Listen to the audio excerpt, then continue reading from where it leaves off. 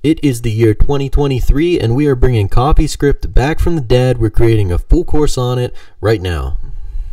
CoffeeScript is more functional than JavaScript and TypeScript. Everything's an expression in CoffeeScript. It only uses strict comparison with the double equals. You're in for a lot of fun. It's going to be better than TypeScript for what I think is a decent chunk of your projects where you just need to get some code written out, write it out well, and make sure things work. Let's get into it.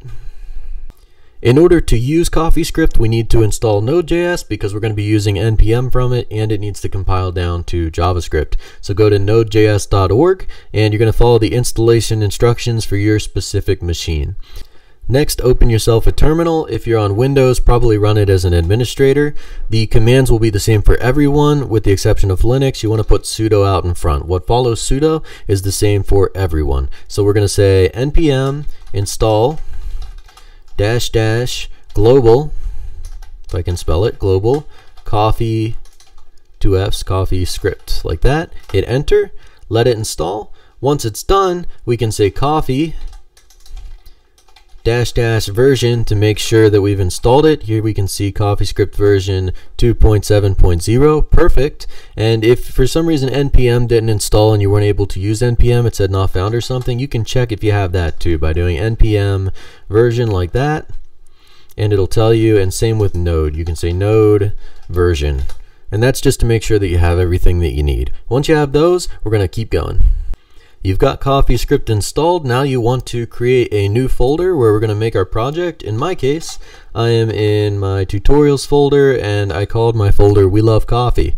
Uh, and so I'm just going to cd into that folder. I'm going to run npm init and that's going to create a package.json for us. I should have hit npm init-y and I wouldn't have had to click enter through all these steps. I'm just going to leave everything as is for now and just hit enter through all the defaults. It's all okay, yes. If I clear it and do an ls, we can see we now have a package.json in our we love coffee folder, which is perfect. That's what we want. And if I want to just check and see what's in there, I can say cat coffee it lets me cat package, spelled it wrong, dot .json, and we can see there's my initial JSON setup. Now I want to open this folder in VS Code, so to do that I can just say code dot, and we're going to open this folder in VS Code.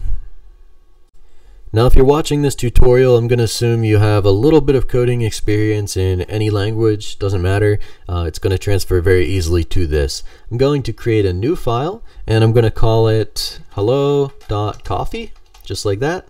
See the little coffee mug that appears? Perfect. And here I'm going to, we're going to write our first coffee script script. So we're going to say console.log, just like JavaScript, but this time we don't have to use parentheses. In CoffeeScript, it's a little more functional than that. We just put a space and we put what we want to say. So console.log, hello, coffee, like this. Perfect. And I don't need semicolons on this, and I also don't need parentheses, right? In JavaScript, it would look like this, console.log, hello, coffee. In, so this is the JavaScript version. This is the CoffeeScript version. You can see it's a little cleaner, easier to read. There's just a space. We don't need those parentheses. We don't need the semicolon. Just really straightforward. So let's save that. Let's open our terminal. And now we're going to say coffee and we're going to say hello.coffee and this should compile and run it for us. Now we didn't actually create a compilation to JavaScript here. That's another step I'll show you in a bit, but for our purposes right now, we just want to be able to run our coffee file, which we exactly what we did.